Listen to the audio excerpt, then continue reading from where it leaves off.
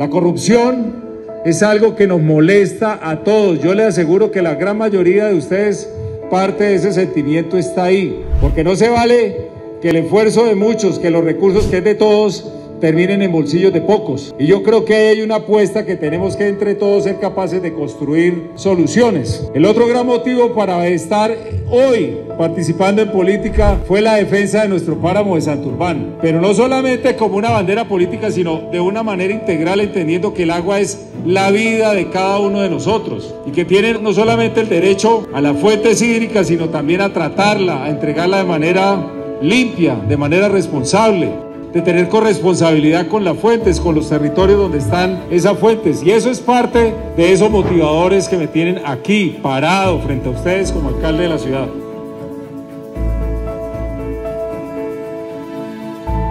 Muchos de ustedes han escuchado que esta administración es un kinder.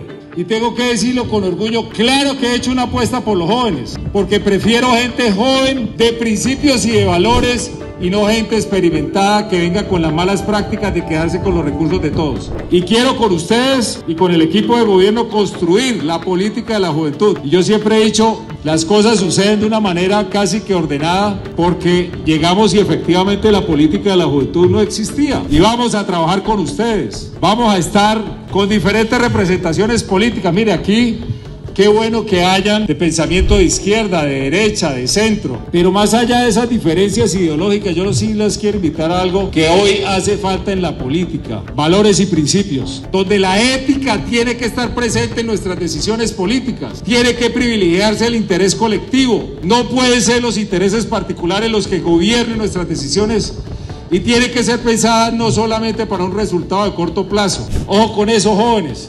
Acá tenemos que empezar a construir colectivamente principios y valores, donde las decisiones tienen que ser éticas, primando lo colectivo y pensando no solamente en el corto, sino en el mediano y largo plazo.